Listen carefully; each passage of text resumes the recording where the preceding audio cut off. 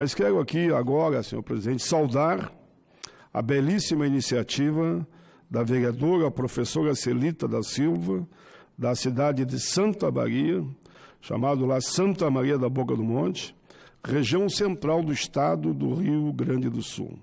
Claro, quando a gente lembra Santa Maria, lembramos daquele covarde massacre, né? De 246 estudantes que foi da Boate Kiss, mas que agora a Justiça já decidiu que o Tribunal de Júri há de, de forma decisiva, fazer que os culpados respondam por esse crime. Mas Santa Maria é uma cidade universitária, uma cidade que está dando alguns exemplos que eu vou destacar aqui. Por exemplo, a Câmara de Vereadores, destaco aqui também os vereadores que estiveram presentes aqui no evento, é, lá na Câmara de Vereadores foi aprovada uma lei municipal, a chamada Lei 6.257 de 2018, que instituiu o programa de coleta seletiva de lixo eletrônico e tecnológico na cidade, como uma lei, uma lei municipal.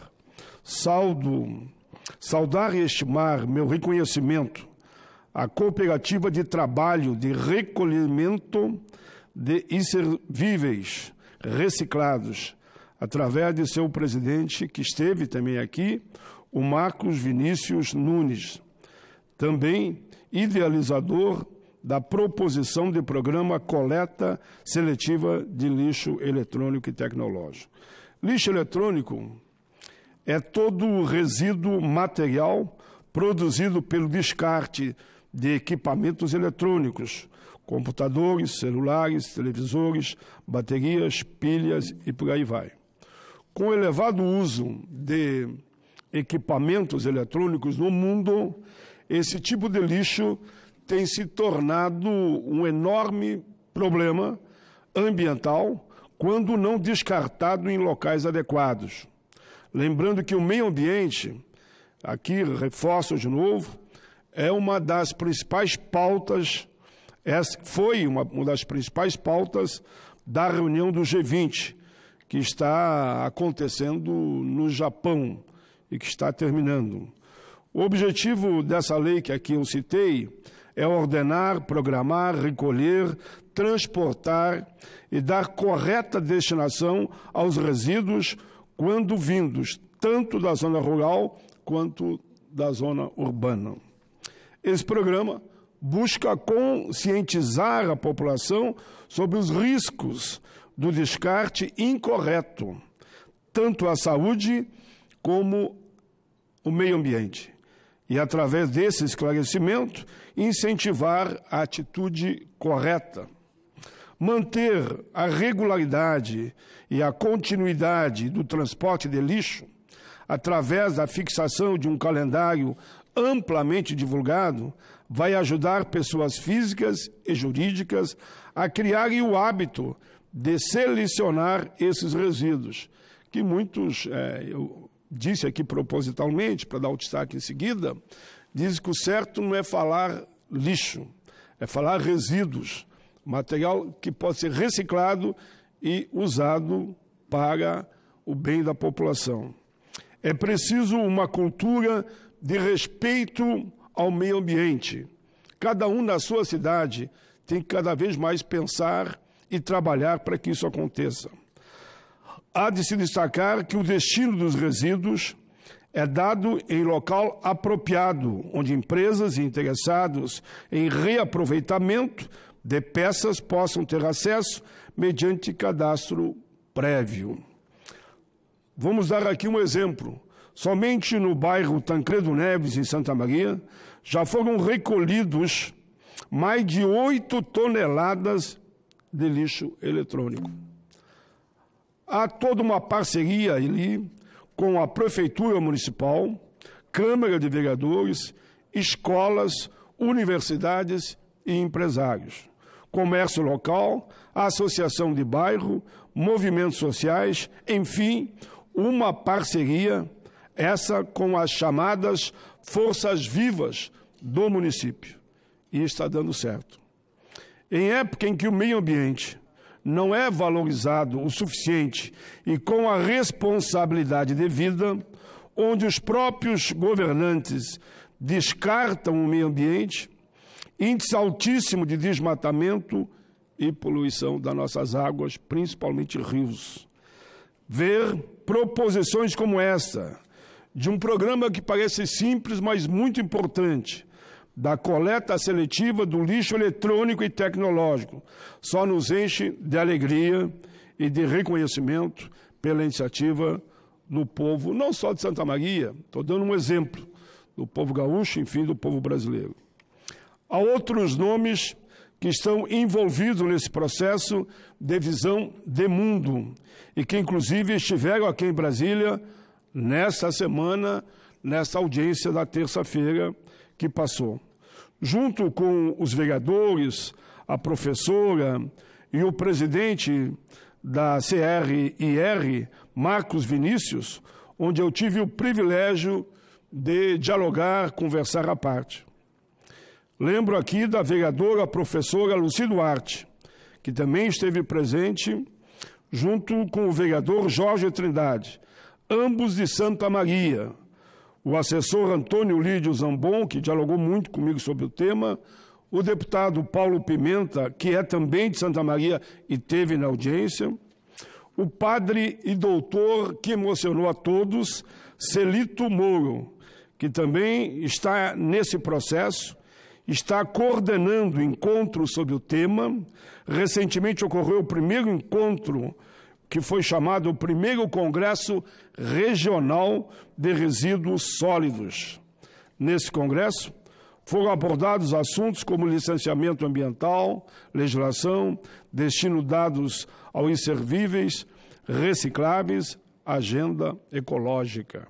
Todo o evento foi um sucesso e reuniu representantes do IBAMA, secretários do Meio Ambiente, Secretaria de Educação, cooperativas, diretores de escolas, universidades, professores, estudantes, trabalhadores do campo e da cidade. Eu sempre digo que é preciso investir no tema sustentabilidade e meio ambiente. Falo muito em crescimento sustentável, principalmente com foco no ecossistema. Repito, é fundamental que a gente invista no tema sustentabilidade e meio ambiente dentro e fora das salas de aula. Não é uma coisa só de intelectual ou de estudante, é de toda a população. Oxalá um dia os 210 milhões de brasileiros se debrucem sobre esse tema. No final desse grande evento, que foi um evento nacional, foi redigida a Carta Ecológica de Santa Maria, que entre seus compromissos está, abro aspas, investir tempo com amor no conhecimento e na formação da consciência das pessoas e na conscientização, a fim de que despertem para a importância de aprender a arte de cuidar do meio ambiente. Senhor presidente, senador Isalci, o que eu falei até aqui sobre o tema meio ambiente e reciclagem, descarte dos resíduos eletrônicos, sobre o programa da coleta seletiva dos materiais recicláveis no campo eletrônico e tecnológico, foi motivo para que, em boa hora, a Comissão de Direitos Humanos e Legislação Participativa começasse a se debruçar mais sobre esse tema. Claro, faremos uma parceria com todas as comissões que for possível, e quero até, se for possível, ser liderado pela Comissão de Meio Ambiente, onde o presidente Comparato tem feito um trabalho excelente nessa área. Eu estou me somando, porque às vezes quando o cara vem à tribuna, o cara, eu digo senador, como eu, Alguém está ouvindo achando que a gente está inventando. Não estamos inventando a roda, não. Só estamos nos somando a todos aqueles senadores, senadores Alcim e tantos outros, que têm preocupação com esse tema. E o senador Comparato, com certeza, é Contarato, né? eu sempre falo Comparato, é Contarato, nos lidera com muita competência. Todos esses nomes que citei aqui estiveram na audiência, além de outros especialistas. Na opinião do diretor de inclusão digital da Secretaria de Telecomunicações, teve lá o senador Zalci, o representante do governo. E vou aqui citar o que ele falou, que eu achei importante. Na opinião do diretor de Inclusão Digital, Secretaria de Telecomunicações do Ministério da Ciência e Tecnologia, Inovações e Comunicações, Sr. Wilson Diniz, segundo ele, se os eletrônicos, se os eletroeletrônicos não forem tratados como devem, serão com certeza um grande problema ambiental, uma vez que seus componentes podem conter mercúrio, chumbo, entre outros elementos tóxicos para o solo e o curso das águas. O contrário vai acontecer se forem reaproveitados. Ele chegou a usar o termo, eu destaquei aqui, valeriam ouro. Disse ele: hoje você encontra no lixo três vezes mais ouro, que usou o lixo, o termo lixo, para comparar com ouro. Né? Você encontra no lixo três vezes mais ouro do que nas próprias minas. E quando eu falo aqui com alguns, eu quero mostrar, se não me permita esse comentário à parte, que essa questão do meio ambiente, do ecossistema, defesa do planeta e direitos humanos não pode ser levado para o campo ideológico, partidário, de situação ou de oposição. Nós temos que olhando para o planeta, temos olhando para milhões e milhões de pessoas no mundo. E o Brasil cumpre um papel fundamental se souber conduzir o bom debate, como a gente fala, o bom combate para defender a vida e o sistema. Por isso destaquei a fala do representante do executivo que veio aqui nessa audiência. As, placas, as placas que compõem os componentes eletrônicos de computadores, celulares, têm diversos metais nobres, entre eles ouro, prata e cobre. O problema é que o Brasil não possui empresas especializadas na reciclagem dessas placas. Essa riqueza é adquirida por países que já detêm essa experiência. A professora Marta Toqueto diz que quando se trata de resíduo eletrônico, nós temos que considerar a composição química desses materiais, a presença desses, desses metais pesados que são altamente impactantes ao meio ambiente, à saúde, consequentemente, à vida, como repito aqui, de todo o sistema, enfim, com influência no planeta. Disse ela mais: no momento em que incentivamos a reciclagem, incentivar, estamos incentivando que esses resíduos e que esses produtos inservíveis que deixem de ser tratados como lixo e sejam tratados como material potencial de reaproveitamento. Nós estaremos preservando as nossas reservas minerais. Fecho aspas, palavra da professora. Aline Souza, aqui de Brasília, senador Exalci, do Movimento Nacional de Catadores, informou que são 600 cooperativas que atuam na coleta. Ela é secretária nacional. Separação e reciclagem de resíduos no Brasil é fundamental. Ela defendeu que nós temos que atacar os lixões. O mundo, a maioria dos países é, com mínimo desenvolvimento, já resolveram a questão dos lixões. O Brasil não resolveu ainda. E nós todos, repito, não é uma questão desse ou daquele partido do governo, temos que trabalhar nesse sentido. Precisamos, palavras dela aqui, da Alice, Aline Souza, precisamos valorizar a reciclagem, o meio ambiente, encerrar os mais de 3 mil lixões abertos que temos em todo o país, com pessoas em trabalho precário e insalubre que estão ali no meio do lixão defendendo a sua vida, o ganha-pão. Há de se lembrar que o prazo para as cidades acabarem com lixões e instalarem aterros sanitários para a reciclagem dos resíduos terminou já em 2014. Em 2014. O Brasil produz todos os anos 500 mil toneladas de resíduos eletrônicos. Somos o sétimo maior produtor do mundo. Do mundo. Em 2018, Cada um de nós, individualmente, jogou fora pelo menos 8,3 quilos de resíduos eletrônicos. Os participantes da audiência pública defendem a retomada da proposta de imediato, quero aqui dar a paternidade a quem tem direito, da emenda constitucional chamada PEC número 1 de 2012, de autoria do ex-senador Paulo Bauer. Paulo Bauer, que se não me engano ele tem uma função de articulação política no governo, né? Então nós vamos chamá-lo também, é, por decisão da comissão, eu já recolhi a assinatura, Vossa Excelência, senador Isalci assinou também, e nós reapresentamos, porque ela tinha sido arquivada. E vamos convidá-lo, inclusive o senador, o ex-senador, para que ele venha, junto conosco, de forma coletiva, suprapartidariamente, ajudar na articulação da aprovação dessa PEC.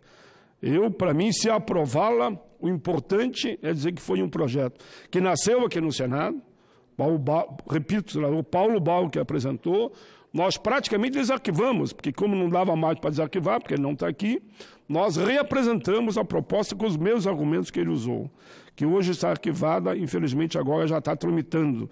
Foi lida, inclusive, ontem aqui já na sessão. Que isenta, olha o que, que diz a, a proposta, isenta de impostos produtos reciclados e reaproveitados.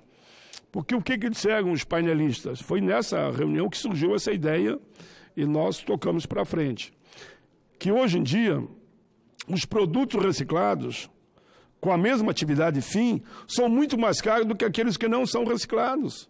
E se nós queremos incentivar, de fato, as empresas, inclusive, os catadores, os que recolhem, os que selecionam, e aqueles que querem fazer empreendimento nessa área, e muitas cooperativas, como aqui eu falei, nós temos que fazer que o produto reciclado, que está salvando vidas no meio ambiente, ele chegue ao consumidor por um preço menor que o mesmo produto concorrente para incentivar cada vez mais as empresas a dizerem: aqui nós vendemos produtos reciclados. O que se propõe nessa PEC é criar um poderoso e confiável motivador para desencadear iniciativas que formem um mercado efetivo de reciclagem e de reaproveitamento de materiais. Eu sei que alguém, quando eu estou falando aqui, eu falo do senador Paulo Bauer, por exemplo, que não é do meu partido, pelo contrário, tem uma posição diferente e hoje é um, um técnico, né, está prestando serviço junto ao governo, eu, é para mostrar exatamente isso. Aqui não é questão ideológica, nem de situação, nem oposição. É somarmos todos em cima de uma proposta. E essa proposta tem que estar escrito na história, que é a PEC número 1, que eu apenas reapresentei o projeto original do senador Paulo Bauer. Então não tem nenhuma defesa aqui de quem é o dono da verdade, quem é o pai da criança. Nós estamos dando esses dados e os números, citando o senador, porque foi dele que surgiu a primeira proposta que esse grupo todo pediu para a gente reapresentar. Enfim, eu digo que o decisivo apelo tem que ser feito para que o próprio poder econômico se some nessa linha. Assim, nós vamos ter uma linha de imunidade tributária para a reciclagem. Proporcionará certamente e dará impulso para tornar realidade e que, o que a cultura ecológica e ambientalista já preconiza como desejo não individual. Por isso que eu sempre digo que essa PEC tem que soar como uma iniciativa coletiva e não desse ou daquele setor. Enfim, senhoras e senhores, termino dizendo: o planeta Terra é a nossa casa. É a nossa casa. O resumo é isso. O planeta Terra é a nossa casa, o nosso quintal, o nosso sol, o sol que entra na nossa janela, a nossa fé e o nosso universo. Todos com um único caminho a seguir. E como diz o poeta espanhol, que eu gosto muito, ele diz que o caminho a gente faz caminhando. E quanto mais coletivo, mais positivo será o resultado final dessa caminhada. A nossa casa é onde vivemos e exercitamos essa experiência monumental chamada vida. É preciso fortalecer esse ambiente magnífico e pulsante, respeitá-lo, cuidá-lo e protegê-lo. Temos que ter orgulho do chão que pisamos, o olhar, olhar o belo que há do outro lado do rio. Quer seja o movimento das águas, quer seja os peixes, quer seja os pássaros, quer seja os animais e, naturalmente, os seres humanos, as florestas, naturalmente. É preciso acreditar nas pessoas. Esse é o caminho da felicidade. Se nós acreditarmos nas pessoas, que até que provem em contrário, todos estão de boa fé, nós estaremos descobrindo o caminho da felicidade. Somente o amor e não o ódio vai despertar a consciência do ser humano. Como disse Marques Hermann em sua Desiderata, coisas que são desejadas, aqui abro aspas para citar a fala dele, alimente a força do espírito para ter proteção em um súbito infortúnio, mas não se torture com temores imaginários. Muitos medos nascem da solidão e do cansaço. Ele mostra que o coletivo, o pensamento positivo, fazer o bem sem olhar a quem, não se intimidar, ser solidário, desejar ao outro o que você já deseja a si mesmo, são frases que, no meu entendimento, apontam para o sucesso. Eu sempre digo que o pessimista é um derrotado por antecipação. Eu quero ser sempre um otimista e sempre acreditando nas pessoas. Enfim, senhor presidente, termino dizendo: você, você que está me ouvindo aqui agora, de uma forma ou de outra, alguns me vendo, você é filho do universo, assim como as árvores, os animais, as estrelas. Por isso, você tem o direito de estar aqui, viver e envelhecer com dignidade.